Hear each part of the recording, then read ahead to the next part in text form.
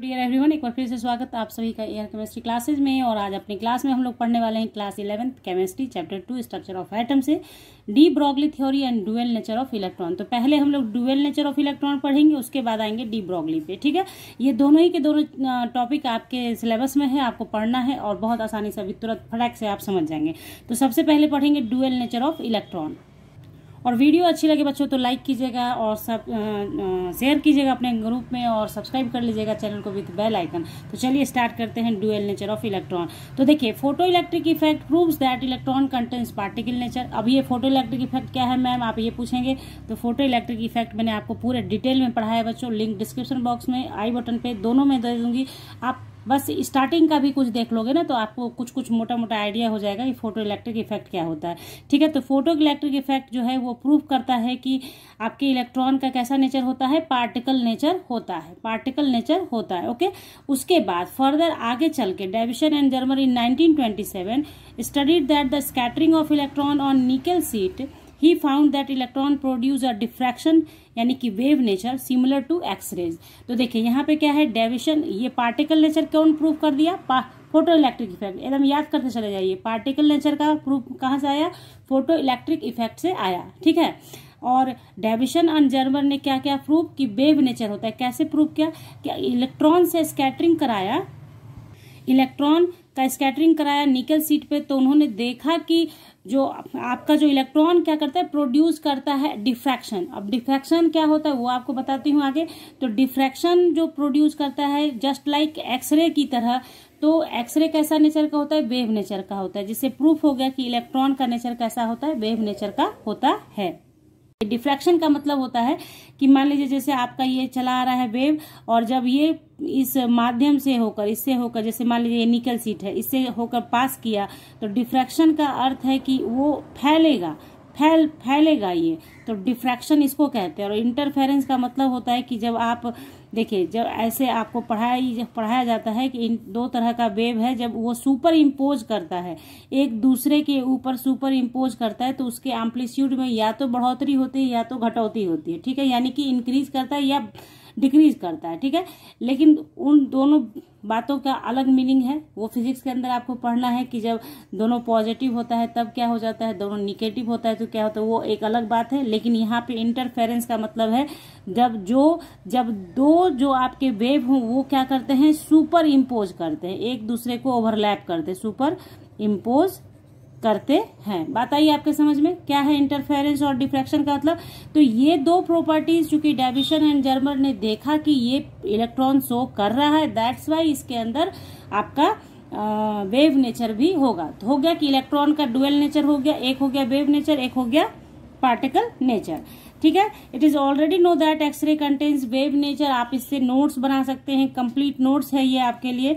Hence electron also contains wave nature therefore electron contains both particle as well as wave nature that is dual nature अगर question पूछता है dual nature of electron तो आप इसको completely ऐसे ही लिख सकते हैं, कहीं कोई परेशानी नहीं होगी आपको। आई होप इसी इसी थ्योरी को आगे मॉडिफाई किया डी ब्रॉगले साहब ने और उन्होंने कहा कि कोई भी एनी पा एनी मैटर पार्टिकल जो कि मोशन में होगा, वो कैसा होगा? वेव नेचर भी शो करेगा। यानी कि वो डुअल नेचर होगा। क्या कहा गया? Any matter particle. पार्टिकल तो वो है ही है, और अगर वो मोशन में है तो वो वेव नेचर भी शो करेगा। ये किसने कहा? डी ब्रॉगली साहब ने कहा। यही है डी ब्रॉगली का equation de Broglie theory equation हम लोग उसका बनाएँगे। साहब ने कहा according to de Broglie duality is not limited to electron only but all material particles in motion shows dual nature तो ध्यान रखिएगा कि जो जो भी पार्टिकल इन मोशन होगा, वो डुअल नेचर शो करेगा। ये एकदम से मैंने एमसीक्यूज बहुत सारा बताया है आपको एटॉमिक स्ट्रक्चर से रिलेटेड उसमें ये क्वेश्चन था कि मूविंग पार्टिकल के लिए बात की जाती है। अगर मूविंग पार्टिकल है तो वो वेव नेचर भी शो करेगा। तो ये हो गया डी ब्रॉगली का थ्योरी तो मान लीजिए कि मास ऑफ़ पार्टिकल एम है, भी वेलोसिटी ऑफ़ पार्टिकल है और लेमडा अगर वेवलेंथ है तो according to de Broglie according to de Broglie equation de Broglie क्या हो जाएगा हमारा? Lambda equals to H by M V और lambda equals to H by P where M into V momentum physics में आपने पढ़ा होगा, पहले भी। Momentum mass into velocity equals to momentum संवेग बोलते हैं इसे हिंदी में। तो ये हो गया डी ब्रॉगली का इक्वेशन। इसी से हम लोग डी ब्रॉगली से रिलेटेड जितने क्वेश्चंस आएँगे, उनको सॉल्व करेंगे। अब ये जो चीज़ आया, ये कैसे आया, उसी को कहते हैं डी ब्रॉगली डेरिवेशन तो इसको भी हम लोग देख लेते हैं कि कैसे करेंगे, ठीक है? तो देखिए, डी ब्रॉगली का जो डेरिवेशन होगा, वो combination of combination of combination of Einstein equation and Planck's equation है। ठीक है? इन दोनों के बेसिस पर ही इन्होंने डेरिवेशन दिया है। तो देखिए according to Einstein equation Einstein का इक्वेशन से क्या होता है? From Einstein equation E equals to M C square इसको फ़र्स्ट मान लीजिए। फ्रॉम तो from from Planck's equation E equals to H nu हमें पता है तो from first and second from first and second E E cancel हो जाएगा तो एम सी स्क्वायर बराबर क्या बचा? एच न्यू ठीक है?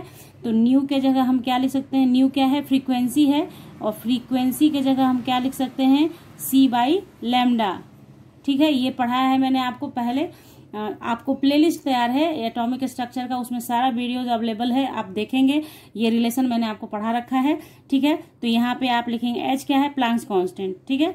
तो H C by lambda M C square तो सी से सी एक कट जाएगा तो यहाँ बच गया आपका क्या? सिर्फ़ M C H by lambda इसलिए lambda equals to H by M C H by M C हो गया। ये जो सी आप देख रहे हैं ना, ये है velocity of light velocity of light इसे आप क्या कर दें? वेलोसिटी ऑफ़ पार्टिकल से चेंज कर दें। वेलोसिटी ऑफ़ लाइट ठीक है? तो इसे हम लोग क्या कर सकते हैं? सी को बराबर कर देते हैं भी। बराबर क्या? Velocity of particle velocity of particle ठीक? तो ये पार्टिकल तो ये देखिए भी हो गया तो आप क्या कर सकते हैं लेमडा बराबर एच बाई एम भी और अभी जस्ट बताया है आपको एम भी के जगह हम क्या ले सकते हैं एच बाई पी क्यों पी ऊपर बताया था आपको कि पी क्या है M M into v momentum equals to क्या पी है ना? देखिए बताया था अभी just M into v momentum है, और मोमेंटम को शो करते हैं पी से। तो बस यहाँ पे पी भी लिख सकते हैं तो lambda equals to H by P तो देखिए, ये डिपेंड करता है कि इन्फॉर्मेशन कैसा दे रखा है, ठीक है? इन्फॉर्मेशन पे डिपेंड करेगा पूरा पूरा अगर एम भी मालूम होगा तो इससे बना लेंगे। अगर मोमेंटम पता होगा तो इससे बना लेंगे, ठीक है? बात आ रही समझ में आपको? क्वेश्चन सॉल्व कैसे करेंगे, उसके लिए ये बता रही हूँ। बाकी ये इक्वेशन आपका सॉल्व हो गया। ये हमारा डी ब्रॉगली डेराइव हो गया। डी ब्रॉगली इक्वेशन आपका डेराइव हो गया। यही ना था? या तो lambda equals to H by M v या तो lambda equals to H by P और पी क्या है? मोमेंटम है, ठीक है? एम क्या है? आपको शुरू में ही बता दिया मास ऑफ़ पार्टिकल है लेमडा वेवलेंथ है, और एच सिर्फ़ आपको बताना है कि एच क्या है हमारा? एच जो है हमारा प्लांक्स कांस्टेंट है। प्लांक्स कांस्टेंट है। ठीक है? तो यहाँ पे हम लोगों ने डी ब्रॉगली इक्वेशन को डेराइव कर लिया।